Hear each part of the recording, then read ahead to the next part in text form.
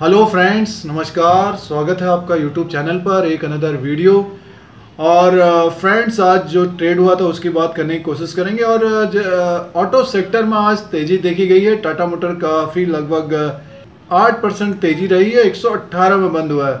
आपने देखा होगा कि थोड़े दिन पहले लगभग 123 124 रुपए तक गया था ये। और उसके बाद फिर गिरावट रही। 109 रुपए के आसपास रहा। जो सेल्स के आंकड़े आए थे, उसके वजह से मारुति और टाटा मोटर्स दोनों में आ, जो कमज़ोरी आई थी आज आज कुछ ऊपर की तरफ़ गए ऑटो सेक्टर्स क्या रीजन रहा? क्या कारण थे ये ऊपर की तरफ़ गए?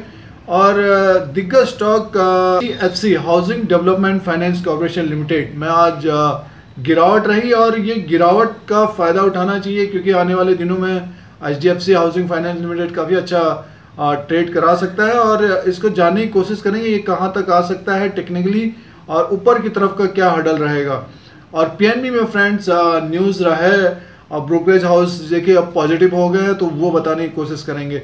सबसे पहले देखिए, निफ्टी की बात करने की कोशिश करेंगे इसमें। लगभग दस हज़ार आठ सौ सैंतालीस में बंद हुआ है लाइट बंद हुआ है निफ्टी, और सनसेक छत्तीस हज़ार छः सौ चौवालीस में बंद हुआ है। और निफ्टी बैंक लगभग छब्बीस हज़ार नौ सौ उन्नीस में बंद हुआ है। आज वॉलेटाइल मार्केट रहा, ऊपर की तरफ़ निफ्टी निकला लगभग दस हज़ार नौ सौ के आसपास, वहाँ से फिर गिरावट रही और फ्लैट में बंद हुआ है। अब आने वाले दिनों में जिस तरह से देखिए ट्रेड हो सकता है तो इसी तरह से ट्रेड होना चाहिए, क्योंकि नीचे की तरफ़ जिस तरह से अगस्त में आपने देखा कि दस हज़ार छः सौ पचास तक आया था, उसके बाद ग्यारह हज़ार के ऊपर तक कारोबार किया था, और सितंबर में भी यही उम्मीद है कि निफ्टी में ट्रेड हो और काफ़ी वॉलेटाइल रहने की उम्मीद रहती है सितंबर में। ऑटो सेक्टर में आज मूव रहा तो ऑटो सेक्टर की बात करने की कोशिश करेंगे। टाटा मोटर और मारुति दोनों ऊपर की तरफ़ गए। इसमें देखिए जो गडकरी जी हैं, उन्होंने कहा कि रेट कट के लिए कहेंगे फाइनेंस मिनिस्टर से तो उसके वजह से स्टॉक्स ऊपर की तरफ़ गए, लगभग 118 और अगर ये देखिए 120 और 121 को क्रॉस करता है, तब आपको ये एक जो इससे पहले भी जो 125 124 के आसपास तक गया था, वहाँ तक जाने की कोशिश करें। और 126 127 के ऊपर अगर ये क्लोज होता है टाटा मोटर्स काफ़ी ऊपर की तरफ़ जा सकता है। और इसमें देखिए बाहर जो इंटरनेशनली आंकड़े भी थे, उसमें भी कमज़ोरी पाई गई है बट ये उम्मीद थी कि कमज़ोरी होगी। आंकड़ों में सेल्स के आंकड़ों में तो टाटा मोटर में जिस जो भी पोजीशन लिए हैं जिसने भी पोजीशन लिया है देखिए इसमें जो अब अगर आप स्टॉप लॉस एकदम से नज़दीक कर रखना चाहते हैं 115 116 रखिए।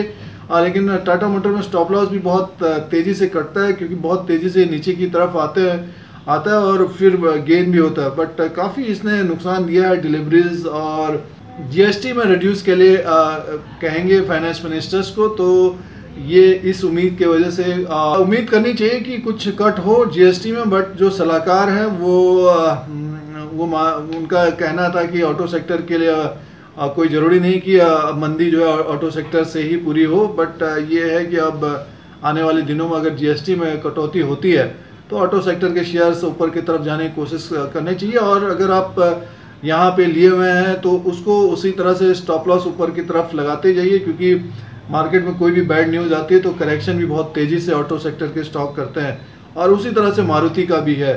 अब एच के housing H development H limited की बात करने की कोशिश करेंगे। Housing development finance corporation limited ये लोन की कंपनी है और इसमें दीपक पारिक जी का स्टेटमेंट भी था कि कॉमर्शियल्स में अच्छा ग्रोथ होने की उम्मीद है। तो अब ये इसमें करेक्शन है, दो हज़ार चौवालीस के आसपास और इसमें जो ओपन हुआ था, लगभग 2100 के आसपास ओपन हुआ है तो यही हडल रहेगा आने वाले दिनों में 2100 का। अगर 2100 को तोड़ के ऊपर की तरफ़ बंद होता है तो आपको इसमें तेज़ी दिख सकती है।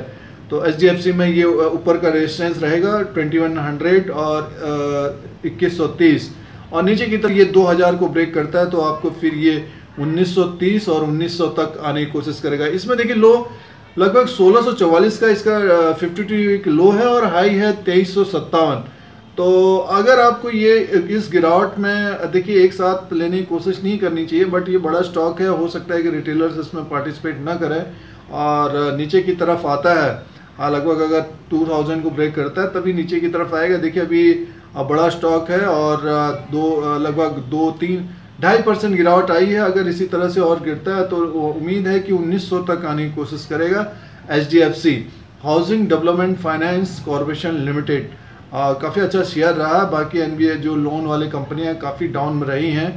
जो लोन देते हैं, उसमें काफ़ी गिरावट रही है तो अब एच में थोड़ा सा कमज़ोरी दिखी है। अब आने वाले दिनों में हो सकता है कि थोड़ा सा और कमज़ोर रहे। और सबसे बड़ी न्यूज़ ये है कि पीएनबी को पीएनबी के लिए देखिए खुशखबरी है स्टेबल से पॉजिटिव इसको जो ग्लोबल रेटिंग एजेंसी है मूडी देखिए कितने चेंज हो जाते हैं। अभी ये जो मर्जर हो रहा है तो इन्होंने इसको स्टेबल से पॉजिटिव कर दिया है। अब पीएनबी देखिए, लगभग इकसठ रुपये में बंद हुआ है, दो परसेंट ऊपर की तरफ़ गया है। तो अगर, देखिए पिछले वीडियो में बताने की कोशिश की थी पीएनबी कैनरा बैंक और U B I union bank of India, इन बैंकों में काफ़ी गिरावट देखी गई थी। अगर आप खरीदना चाहते हैं तो 20 से 30 परसेंट अपना इन्वेस्टमेंट करना चाहिए। और उसके बाद देखिए, ये, इनको अभी समय लग सकता है।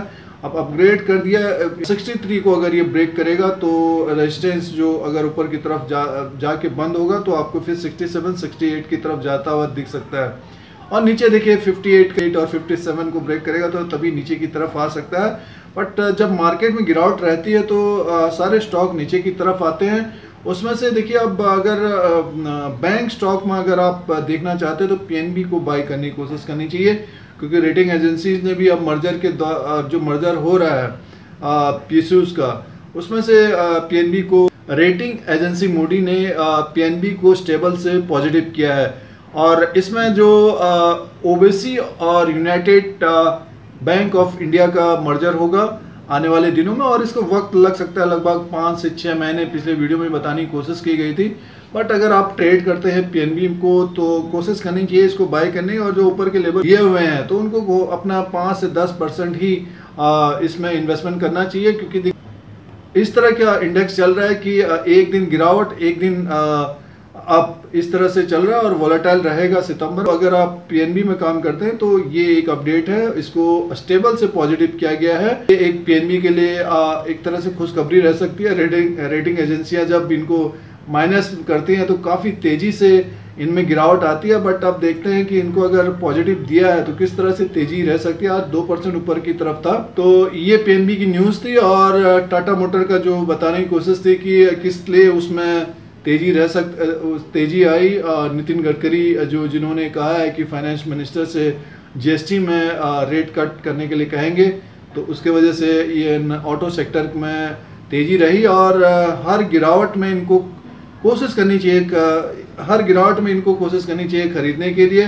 और पिछले वीडियो में बताने की कोशिश थी कि अगर आपको गिरावट में स्टॉक मिलते हैं, लगभग अपना अमाउंट से 25 से 30 परसेंट ही लगाना चाहिए। देखिए, अभी थोड़ा सा जियो पॉलिटिकल्स और जिस तरह से ट्रेड वॉर और ये सारी चीज़ें चल रही हैं तो पूरा अमाउंट झोंकने की ज़रूरत नहीं है। ये इन अभी इस मार्केट में और अगर आपको दस से पंद्रह दिन में अगर दस परसेंट से लगभग बारह परसेंट भी प्रॉफिट मिलता है तो निकल जाइए उसमें। प्रॉफिट बुक करिए जो लंबे समय के लिए अगर रखना चाहते हैं, लगभग 25 से 30 परसेंट या लेना चाहते हैं तो थोड़ा सा समय देना पड़ेगा स्टॉक्स को। बट ये है कि अगर आप ऊपर के लेवल में फंसे हुए हैं तो धीरे धीरे इन स्टॉकों को बाई करने की कोशिश करनी चाहिए।